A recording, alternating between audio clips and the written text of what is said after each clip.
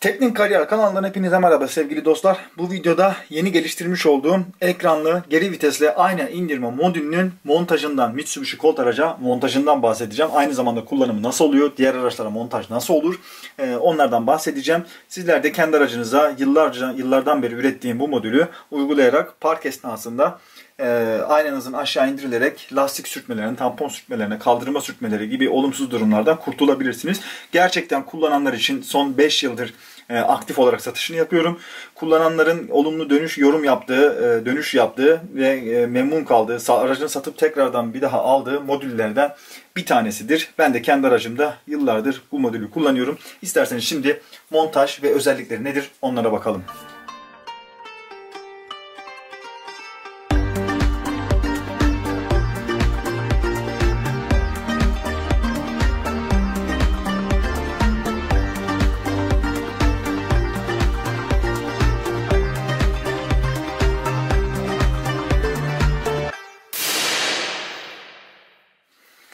Ürünü aldığınız zaman şöyle bir dörtlü bir de altılı konnektörlü soket geliyor. Bir de böyle bir kutumuz. Kutumuzun boyutu oldukça küçük.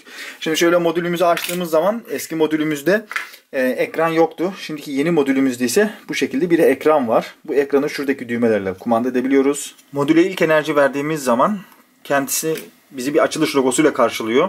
Bu açılış logosunu 15 farklı araç markasını e, ekleyebiliyoruz. E, bu şekilde Şimdi aracın Mitsubishi olduğu için ben Mitsubishi ekledim. Ee, indirme süresi ve kaldırma süresini bize gösteriyor. 2.6 saniye indirme, 2.6 saniye kaldırma. Tekrar şuradaki mod düğmesine basarak bu şekilde indirme ve kaldırma sürelerini görebiliyoruz. Bir 10 saniye beklersek ekran kapanıyor. Tekrar basıyorum. İndirme süresini mesela 1.6 yapalım. Uzun süre basınca da mod düğmesine kaldırma süresine geçiyor. Bunu da 1.6 olarak bırakıyorum. Yine uzun süre basıyorum. Bekleme süresi vites boşa atıldığı zaman yani geri vitesten çıktığı zaman kaç saniye bekleyip daha sonra aynayı toplayacağını söylüyor. Ee, ben bunu şimdilik 5 saniye olarak tutuyorum. Vites tipi manuel. Bunu otomatik yaparsanız otomatik yaptığımız zaman biliyorsunuz işte PRND'li e, otomatik viteslerde e, P'yi alırken önce bir R'den geçtiği için e, aynaya geri indirmemesi için ufak bir bekleme yapıyor.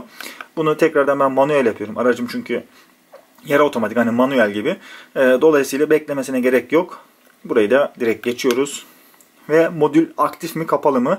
Bunu da buradan açıp kapatabiliyoruz. Yine buradan da marka logosunu değiştirebiliyoruz. Bir sürü marka logosu var. Şöyle gördüğünüz gibi. Tüm logoları da buradan değiştirebiliriz. Modülümüzü montajlayabilmek için ben e, size iki farklı senaryoda bunu anlatacağım. Bir e, Hyundai, BMW, Mercedes gibi gruplar için bir de Mitsubishi Colt e, yine e, Hyundai'nin eski modelleri veya farklı bazı araçlarda e, Mitsubishi gibi araçlarda e, farklı montaj şekilleri olabiliyor. Şimdi çok fazla işi uzatmadan size montajını göstereceğim. Tek tek bağlantıları anlatacağım. E, daha sonrasında da bu örnek bağlantı üzerinden zaten sizler de kendiniz yapabilirsiniz. Benim BMW E36 için de montaj videom detaylı kablo renklerine kadar e, mevcut. Şimdi öncelikle aracımızın e, aynı ayar kablolarının olduğu yere ulaşmamız lazım. Bu sol kapı içinde de olabiliyor, ön torpidoda da olabiliyor veya e, sol kapı içinden tesisat çıkıp sağ aynaya giden yerdeki sağ ayak hoparlörünün olduğu yerlerde de olabiliyor. Genelde ayak hoparlörlerinin oradan. Ama Mitsubishi Colt aracımızda e, direkt torpido üzerinde, direkt sis düğmelerinin olduğu yerdeki bölümde olduğu için ben bağlantısını oradan yaptım. Bunun için öncelikle aracımızın sigorta kapağının olduğu direksiyonun altındaki bakaliti söküyoruz. Bakaliti aldıktan sonra ise e, sis düğmeleri ve ayna switch'ini tutan e, orada bir tors civatamız var. O tors civatayı da alarak e, oradaki plastiği tamamen elimize alıyoruz. Böylece ayna ayar düğmesinin arkasındaki sokete ulaşabilirsiniz. Şimdi bu soketi incelediğimizde bir ölçü aleti kullanarak kabloların hepsinin görevini tespit etmeniz gerekiyor. Çünkü buradan hem artı geliyor hem eksi geliyor yani şase geliyor hem de sağ aynaya ve sol aynaya tesisattan e, kablolar gidiyor. Biz sağ ayna kablolarını ve artı eksiği alarak bu işlemi e, yapacağız. Şimdi bizim burada e, siyah kablomuz bu şekilde sokete baktığımız zaman şase. Buradaki modülde de benim ikinci pinime giriyor şu şekilde. Soketteki siyah kablomuz buradaki şase hattımızdır. E, bunu direkt bağladığımız zaman soket tarafından bu bağlantı tamam olacaktır. Soketteki yeşil sarı kablo gri benekli de kontak açıldığı zaman gelen 12 volt hattıdır. Yani bizim şuradaki e, modüldeki kırmızı kablomuza şu etikette yazan kırm, e, kontak 12 volt hattına direkt bağlanacaktır. Kablo kesilmeden direkt ek yapılıyor bunlar. Geri vites kablosu ise e, arka stop, lamb e, stop lambalarında bulunan geri vites hattındaki kablo rengini oradan aldım. Kırmızı yeşil, üzeri gri benekli geri vites hattıdır. E, bu hat aynı zamanda bizim kadranımızın arkasındaki kablo demetinden kadrana gidiyor. Oradaki kablo demetinden ben biraz bulması zor oldu ama e, yine de e, bir şekilde olayı çözdük. Çünkü arka tarafa kadar hat çekmenize gerek yok. E, Mitsubishi Colt için konuşuyorum. E, dolayısıyla kadran arkasındaki kablo demetinden kırmızı yeşil gri benekli kabloyu e, ulaşabilirseniz buradaki geri vites hattımızda kısa yoldan doğruca kadran arkasına bağlanarak geri vites sinyali alınacaktır. Sonuncusu anahtar tetik girişi diyor. Bu anahtar tetik girişini birazdan bahsedeceğim. Şimdi bağlantıların en önemli noktalarından bir tanesi de ayna motoruna ve ayna kumandasına giden kabloların tespiti ve buradaki bölüme bağlantısı. Şimdi bunlar nasıl olacak? Çünkü ters bağladığımız zaman ayna dışa değil içi açıyor veya yukarı değil aşağı kaldırıyor vesaire vesaire gibi sorunlar oluyor. Hepsinden bahsedeceğim. Öncelikle ayna ayar soketini sokete takılıyken bir ölçü aletiyle yukarı aşağı hareket ettirdiğimizde hangi kablolara artı hangi kablolara eksi geliyor bunu bulmamız lazım. Ben e, tüm kabloları tek tek buldum. Hani sizlere Mitsubishi Colt için göstereceğim. Ama siz de kendi aracınızda bunu tespit ederken e, dediğim gibi aynayı aşağı yukarı hareket ettirirken buradaki kablolardaki gelen artı ve eksileri tespit etmeniz gerekiyor. Yatayda hareket ettirdiğiniz kablolara gelen kab e, artı eksi gelen kabloları elemeniz gerekecek. Şimdi ee, mesela bakın bizim ayna ayar motorumuzda e, Mitsubishi Colt için konuşacak olursak dikey ve yatay motoru ayrı ayrı ikişer tane kablosu bulunuyor. Toplamda e, 4 kablo diyelim. E, dolayısıyla biz dikey motor kablolarını tespit ettik. Ve buradaki motor çıkış 1.2 ile e, anahtar giriş 1.2'yi kullanacağız. Ama BMW grubu, Mercedes grubunda e, aynı ayar motorun 3, 3 kablo kumanda diyor. Mesela Hyundai'in e, Accent Era Blue'larda vesaire. Onlarda o zaman anahtar giriş 3'te motor çıkış 3'te kullanılıyor. Çok fazla detaya girip kafanızı bulandırmadan kılavuzu incelemenizi tavsiye ederim. E, ben burada e, şimdi Mitsubishi Colt için bağlantıları göstereyim.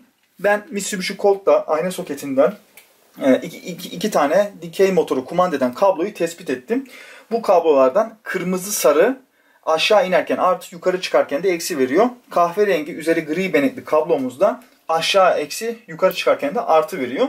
Bu iki kablo bizim için e, buradaki sokete bağlanacak olan kablolar. Şimdi kırmızı sarı kabloyu arkadaşlar kestiğimizde kumanda tarafında kalan kabloyu anahtar giriş 1'e e, motor tarafına giden araç tesisat tarafına giden e, kırmızı sarı kablomuzun diğer ucunu da buradaki motor çıkış 1'e bağladım. Aynı şekilde kahverengi üzeri gri benekli kablomuzda keserek anahtar tarafındaki yani switch tarafındaki bölümü anahtar giriş 2'ye e, tesisat tarafında kalan kısmını da motor çıkış 2'ye e, kabloları güzelce bağlayıp lehimleyip üzerinde makaronlayarak en sonunda da bez bantla sararak tesisatın toplama işlemini bitiriyorum. Ve bu şekilde aynamız vitese geri attığımız zaman aşağı doğru inecek, yukarı doğru kalkacaktır. Eğer aşağı inmeyip de yukarı kalkıyorsa bu sefer de bizim aynı e, kablolarımızı ters bağlamışız anlamına geliyordur. O zaman anahtar giriş 2 ile 1'i yer değiştireceksiniz. Motor çıkış 2 ile 1'i de çaprazlama yer değiştireceksiniz. Bu şekilde yaptığınızda aynı ayar düğmesi de e, vitesi geri attığınızda da düzgün çalışacaktır. Bu şekilde bağlantı e, yapılabiliyor. Az önce atladığım bağlantılardan bir tanesi de şuradaki anahtar tetik girişi. Biliyorsunuz siz bu modülü montaj yaptınız. Anahtar e, üzerindeki ekrana ulaşamıyorsunuz. Anahtardan da tetik vererek e, biz burada ne yapabiliyoruz? Zaman ayarlamalarını vesaire yapabiliyoruz. Birazdan zaten onu da göstereceğim uygulama üzerinde. E, nasıl yapıyoruz? Buradaki anahtar tetik giriş kablosunu alıyoruz. Buradan ya anahtar giriş 1'e ya anahtar giriş 2'ye ya da anahtar giriş 3'e eğer burayı da kullandıysanız. Buradan birine bağlayarak siz düğmeden tetik verdiğinizde buradan gelen artı veya eksi sinyale göre hemen modülün içerisinde bulunan jumper'ı sol taraf alırsanız artı sağ taraf alırsanız da eksi sinyal alarak e, tetik verdiğinizde birazdan göstereceğim e, zaman ayarlamasını ve geçici iptal yapabiliyorsunuz.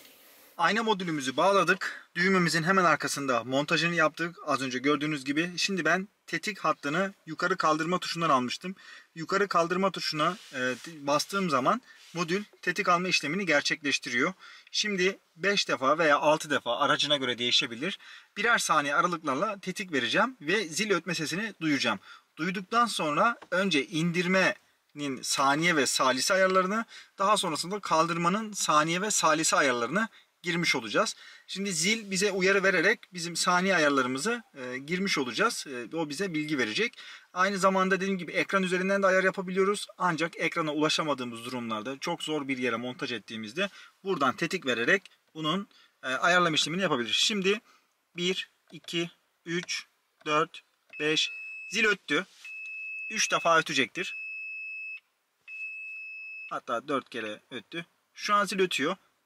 İndirme 1 saniye. Eğer 2'yi 3'ü de verirsem indirme 2 saniye, 3 saniye, 4 saniye şeklinde olabilir. Şu an indirme 1.1 oldu. İndirme 1.2, 1.3, 1.4, 1.5, 1.6'da bırakacağım.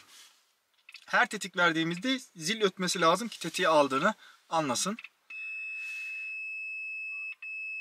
Evet. Şimdi kaldırma 1 saniye. Eğer tetik verirsem kaldırma 2 saniye olur. Kaldırmayı 1.5 yapacağım toplamda. 1.1, 1.2, 1.3, 1.4, 1.5. Benim aracım için indirme 1.6 ve kaldırma da 1.5 saniye yeterlidir. Ve bu şekilde aynamızın gördüğünüz gibi zil öterek bize uyarı verdi. Ee, ayarlama işlemi artık tamam. Geçici iptalde de vitesi geriye attığımızda aynamız aşağı indi ve biz geri geri hareket ediyoruz. Geri geri hareket ettiğimiz zaman aynamızı yukarı kaldırmasını istiyorsak tekrardan çok kısa bir şekilde ayna düğmesine dokunduğumuzda tetik verme tuşuyla artık vitesimiz şu şekilde şöyle geride olsa bile şu şekilde şöyle gördüğünüz gibi aynamız kalkık durumda duruyor. Tekrar vitesi boşa atarsam herhangi bir kaldırma işlemi yapmayacaktır. Modülü tamamen iptal etmek istiyorsak da bu sefer yapmamız gereken işlem buradan tetik verirken aynı zamanda vitesi geriye atarsak zil uzunca ötecek ve modülümüz devre dışı kalacak. Tekrar aktif etmek için yine buradan tetik vererek ve buradan da vitesi geriye atarak modülü tekrar aktif hale getirebiliriz. Sonuç olarak e, bu şekilde Mitsubishi Colt aracımıza modülümüzün montajını yapmış bulunmaktayız. Bu şekilde vitesi geriye attığımızda artık ayna indirme özelliği aktif oluyor ve bizlere de park esnasında büyük bir kolaylık sağlıyor. Ee, umarım sizlere faydalı ve güzel bir video olmuştur. Ee, bu modülü satın alacaklar için de e, yol gösterici bir video olacağını düşünüyorum. Ee, montaj aşamasında yeni takıldığınız nokta olursa ve montaj kılavuzunu da incelemek isterseniz video açıklamalar kısmına iletişim mailini ve montaj kılavuzunun linkini ekliyorum. Aynı zamanda satın alma linki de var. Oradan bu videonun e, açıklama kısmına ulaşarak e, ilgili bilgilere sahip olabilirsiniz. Şimdilik benim söyleyeceklerim bu kadardı. Kendinize iyi bakın. Hoşçakalın.